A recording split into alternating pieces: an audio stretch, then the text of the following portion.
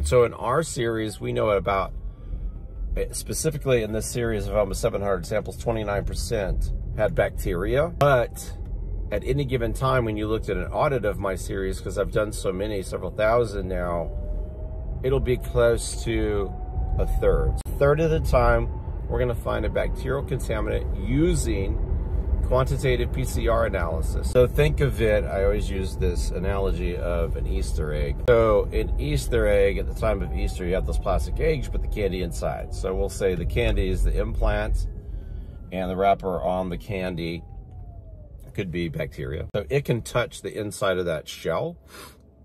But if the shell is not completely sealed, uh, meaning your scar capsule has a leak, or if it's just not woven very tightly because you didn't lay enough uh, thick scar tissue down, that can interact with the breast tissue. So what's important is, in our series, there's two dominant species of bacteria, and one's called Cutibacterium acnes, yes, acne, and two is Staph epidermidis, which is found on the skin. Now, another paper published this year shows that the interaction between those bacteria, specifically bacteria like Staph epidermidis, which produce biofilm, and Cutibacterium, which does produce, readily produce biofilm, those bacteria in their communities of bacteria, the biofilm, will interact with the breast tissue and specifically an oleic fatty acid in the breast tissue. Once this happens, it produces oxylipid. Now this can go on to affect your immune system